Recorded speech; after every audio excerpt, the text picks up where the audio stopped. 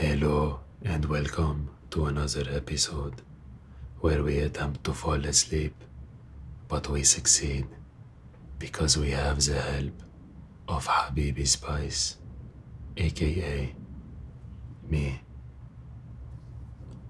Tonight we are going to be diving into the ocean. I'm joking. Tonight we are going to be diving into the swimming pool. I'm also joking. Tonight we are not doing diving in the physical sense, but we're doing diving in the metaphorical sense. That we are going to go head in to a subject that is self help, which is self explanatory and it means helping yourself. I have a book here called The Urban Monk by Pedram Shojai, creator of well.org. I don't know what well.org mean, but it say here Eastern wisdom and modern hacks to stop time and find success, happiness, and peace. Don't you wish you could stop time? Sometime. Don't you wish you could take a seat and let time take a seat as well? Don't you wish your girlfriend was hot like me? You like this pop culture reference? Of course you do. Now, come here, Larry. Hey, buddy. Chapter 1 is called Stress. How do I dodge the bullets? Now, realistically, you cannot dodge a bullet because a bullet travels at 1000 mile per second. Bless you. By the way, I scheduled surgery for Larry because he need to have some teeth removed. If you want to help him pay for the surgery, you can become a member of this channel for $5 a month. $5. You spend more on coffee in the morning, not your evening coffee even. So become a member, support Larry, otherwise you are a sociopath. How do we dodge stress? Well, for me, I usually stop giving a fuck. But this might be hard for you. If you want to dodge your own bullet that is coming from within, maybe you should focus on not pulling the trigger first. But sometimes the trigger is automatic. So let's go ahead and see what Urban Monk has to say about. Have you ever felt guilty about missing a workout at the gym? Ever felt guilty for missing yoga class? Did you learn meditation at one point and then stop doing it? Do you regret not spending enough quality time with your kids, spouse, friends, or aging parents? Do you have a stack of books by your nightstand that you look at each night, wondering when you'll get them? When you'll get to them? Have you ever come back from vacation feeling drained and less ready to take on your life than when you started? Are you stressed, tired, or just downright bored of the rut that you're in? Welcome to the modern world. Things were not always like this. Our ancestors had more time in life. They had more space. They walked to places and took in fresh air. They spent time preparing meals and enjoying them with loved ones. And they got more exposure to nature and the elements. Life was less stressful, less full. We were surrounded by family and belonged to an extended tribe. Today we've got bills. We've got millions of bits of information bombarding us every minute. News about militants trying to kill us is often served with reports about rising cancer rates and crashing economies. Our kids are being tugged on by commercial interests, and our ice caps are melting. La habibi, not the ice caps. Everything costs more money than we'd like. Yeah, and we find ourselves running around like crazy people, trying to keep the whole shit show going. All for what? The crisis of modern urban or suburban person is what we've got bull. Are you okay, lady? What's itching you? The crisis of the modern urban or suburban person is that we've got bullets flying at us and we are ill equipped to deal with any of it.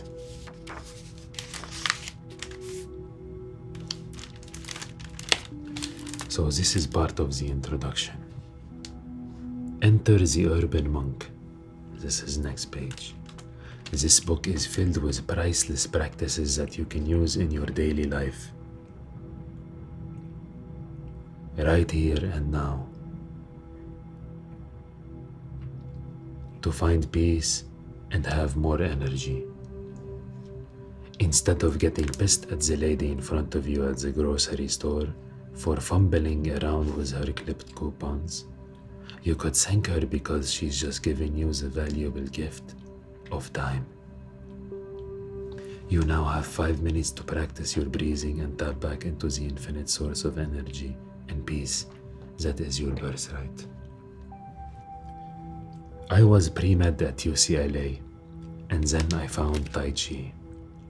From there, I found a Taoist abbot who taught me Kung Fu and Qigong. I became a Taoist monk and traveled the world, sitting with many masters. I have been a student of esoteric. Pause. Sitting with many masters and have been a student of esoteric practices ever since. But I was raised in Los Angeles. I had normal friends and went to normal schools. I've partied with rock stars and sat in Amazonian huts with the best of them. I became doctor of Ori- Oriental medicine and saw thousands of patients. This helped me understand the human suffering, not in an abstract New Age way, but in actual reality. I've helped normal people get through real life crises for years. Divorces happen, people die, kids get into trouble with drugs, couples have trouble getting pregnant. This is the life down here in the cities, and this is where we need help. Let's forget the lofty spiritual stuff for a minute and get down to earth.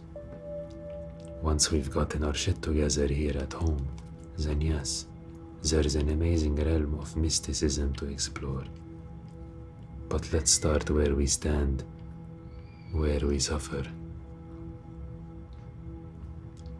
If you hear some yelling outside, there are some kids at the pool. And instead of getting angry at them, they are just children. They are offering, offering me the gift of very good hearing, because I can hear them. But even somebody with bad hearing can hear them, let's be honest.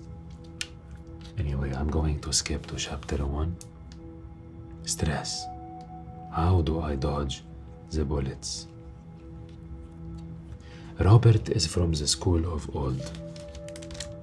He was brought up in an era where there were three choices in life for young men be a doctor, a lawyer, or an engineer.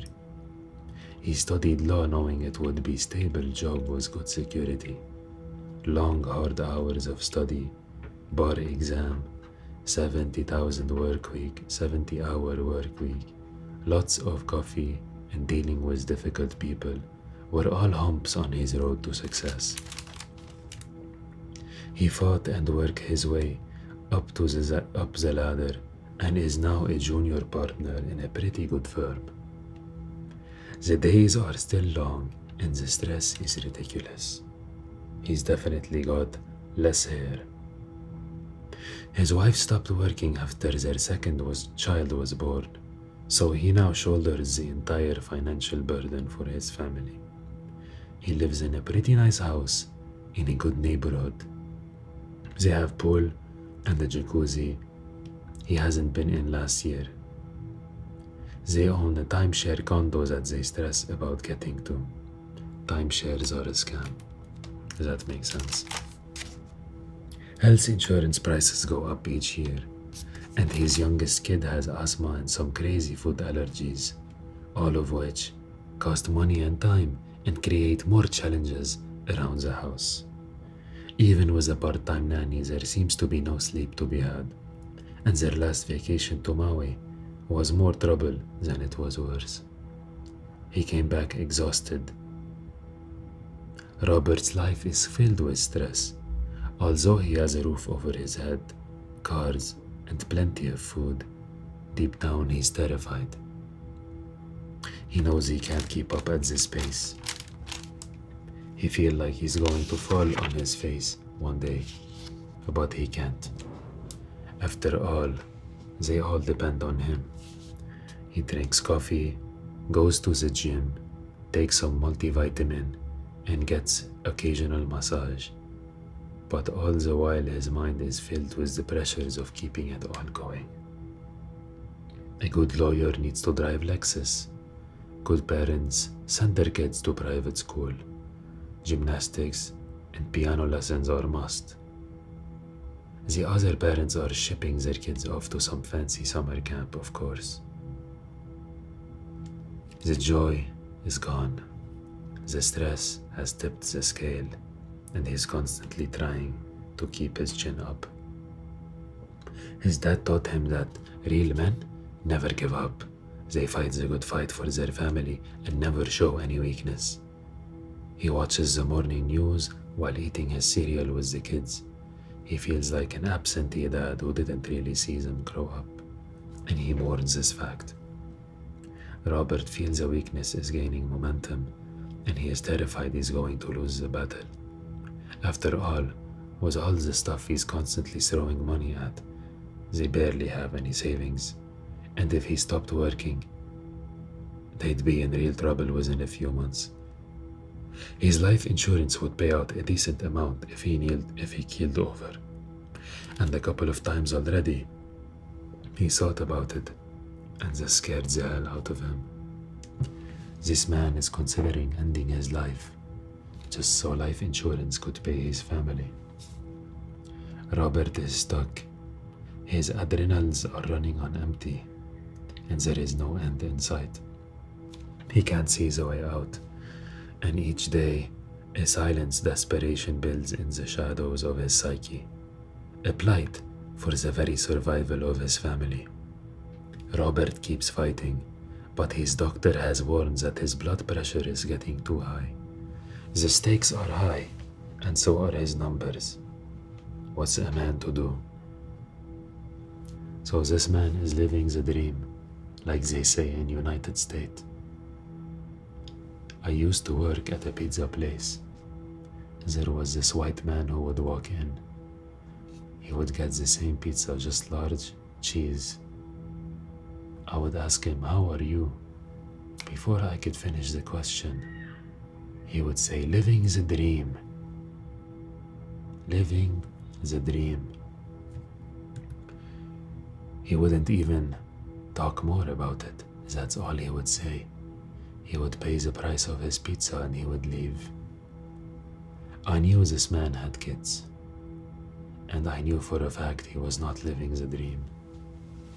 And I saw a TikTok one time. I'm not sure what I saw, it was a video or even an online meme. And it say, whenever somebody says living the dream, it means they are suffering. I wonder where this man is right now. The problem. In a way, we all share Robert's problem. Our bodies developed and evolved over millions of years in response to some predictable stressors in our environment. Fight or flight is a beautiful system that helps us stay alive in dangerous world filled with predators and scarcity. It evolved to help us get out of life-threatening situations by optimizing our metabolism to ramp up into crisis mode. When we're in danger, our cortisol and or adrenaline level surge to help divert the blood flow, blood flow to the big muscle that will help us fight an opponent or flee from a predator. These are stress hormones that have top down control over several systems in our bodies, and slight fluctuations in their levels move dials all over the place. They work in conjunction with an elegant switching mechanism in our nervous system. Robert's stress is not from an acute incident. Sure, occasionally the car in the next lane swerves over and gets his heart rate and middle finger up. But that's not what's killing him. It's the chronic stress. A wild impala in Africa doesn't think about the what if scenarios of a lion charging. He eats, cruises around, has plenty of sex, like me, and if a threat shows up, he runs for it. If he survives, he shakes it out and goes back to his business. Not us. We keep replaying the event in our mind, bind it to emotion, and visualize it running in different ways. We don't drop it. That's the problem, we're always thinking. You're laying in bed, you're thinking of the different scenarios that happen and how they could have happened differently. Habiba, stop. These events happened, and they happened once, and they happened the way that they happened. The Impala has moved on, but we're in therapy still talking about it, or worse, still bottling it up. We don't really get into rest and digest mode enough to balance this, the system out, so we stay wound up. Chronic stress is a killer. Robert has many life or death moments every time a client threatens to cancel or a judge throws out a case. His wife came home with a fancy purse the other day and it turned his stomach. How much did that cost? These modern stressors are basically death by a thousand cuts. Our abstract concept of money or currency is tied to our very survival and triggers the same circuitry. It messes with us and stresses us out. Money is tight, deep down, that means something that our bodies understand viscerally. Low level of cortisol release over a sustained period of time have terrible consequence for the body. You can say that Robert lives in sympathetic overdrive and has forgotten how to switch back over and chill out with the body constantly cutting blood flow to vital systems. Here's some of the predictable fallout. So he says restricting energy to the immune system, cutting energy to the digest digestive system, causing blood sugar roller coaster. Cortisol is like a credit card the body need energy immediately, so cortisol is like swiping a card to get instant gratification. It helps the body to draw energy from our glycogen reserves in the liver for our immediate needs, but that has some serious consequences. As blood sugar initially surges, the pancreas senses this and releases insulin to grab the sugar and shuttle it into, into the next cell. This is all good except when things start to fall off the tracks. After years of being on this cortisol energy roller coaster, the insulin spike often overshoots the sugar, when then, which then triggers us to get hungry and crave more sugar or carb in order to balance it out. This can manifest in moodiness, irritability, headaches, and general fatigue. Most people have so many ups and downs with this that they feel like they're spent by midday Tuesday and are already dreaming of the weekend. So, what can we do? What can we do to fix this? Here we go. The master remains calm. The world is nuts. Our lives drive us towards panic, frenzy. If we don't hold the line, then we're lost. It's important to live in the eye of the hurricane, where things are calm and chaos isn't the law of the land. Much of the wisdom of the ancient monasteries has been held in for millennia in centers of excellence. Temples, schools, caves, and academies that are not subjected to the fickle meanderings, meanderings of the outside world. Our job is to bring that peace back into our cities and set the tone for a balanced life here and now. In the West, we've fallen for the false assumption that meditation is something we need to do once we are already stressed out. That's like saying you, you need to stretch after you've pulled a muscle. Try to use meditation as an operating system instead. So, just like you install Windows 10 or Windows 11, or if you are old, Windows 98, just like you install those over on your computer so your computer can run, you have to install meditation into your system as a way to fuel it, as a way to make it run. This means you constantly scan your consciousness and cue for calm. You can sense thoughts that make you reactive and uneasy. And you learn to let them pass. You don't let them knock you off your perch. The mind is reactive. Learning to remain non reactive is the name of the game. Does this mean living without passion? Absolutely not. Live, love, love, and learn. Just don't be a sucker for drama. Stop watching reality TV also. Live your life with enthusiasm and purpose, and don't be a pawn in someone else's vision for you. You drive, better yet, let your higher self drive. And you relax. You heard the urban monk say it. I wouldn't say better than me, but he said it. And I would say it as well. Now that you are able to remain calm amidst the storm, you don't have to be.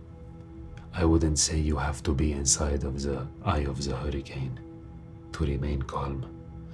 But your skill is being inside of the hurricane and maintaining calm. It's easy to be calm in the eye because it is calm in the eye. But now, when you are in the hurricane, how will we calm down? So, install your meditative operating system outside of the hurricane so that when you are inside, you can just run it and boot it up. I hope you are able to meditate yourself to sleep. And I hope you will stop stressing about your life insurance or your health insurance. These companies are not made to help you, they are made to make you stress. And Habibi Spice is here to make you unstress. Good night from me and Larry and I hope you fall asleep nice and fast.